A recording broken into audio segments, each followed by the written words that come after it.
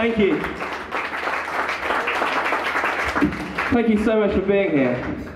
We haven't done a full band tour in Germany for two years, and, um, and I've never been to Oberhausen, so I was expecting there to be about five people here, so thank you for coming out.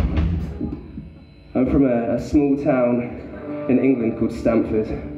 Uh, it's very small, it's got lots of churches, lots of old people, and uh, lots of pubs. And this is a song about the time that I got beaten up at Christmas um, for running my mouth and drinking too much. It's called Stamford.